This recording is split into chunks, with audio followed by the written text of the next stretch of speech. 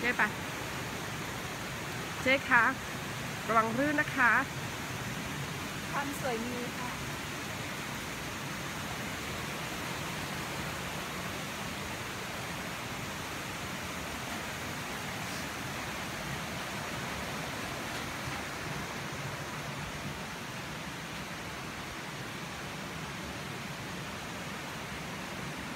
หน้าฝนนี่จะลื่นมากเลยครับเพราะว่าเป็นตะไคร่เพราะว่าที่นี่อะ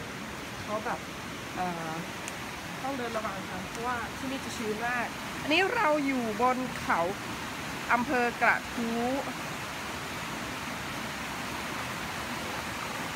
มีน้ำตกด้วยนะคะ อยู่วัดป่าพุทธรังสี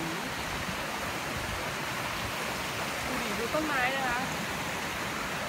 มันชื้นมาก ก็เข้าที่จะชื้นมากต้องเดินผ่านลำธารไปเจ๊ไปแล้วค่ะเจ๊เจ๊ของเราไปแล้วนะคะนั่นเขาไม่อยู่เนาะวัดป่าเปิ่นหวานกว่าจะมาถึงได้ขึ้น ตั้งหนุ่มนะมันเป็นเมือง ตั้งบนมันเป็นป่าเนาะปลาเงาะปลาทุเรียนเจ้าว้ายทุเรียนเต็มต้นมะพร้าว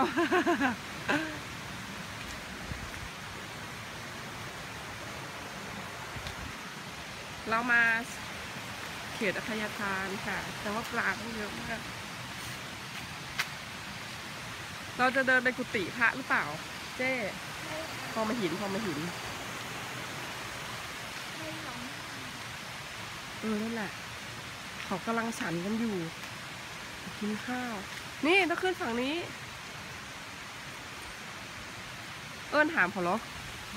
ไม่ต้องเอื้อนเราขึ้นไปเลย เปิดกำลังฉันอยู่เจ้าให้ภาพสดเลยนะ เป็นภาษาเหนือ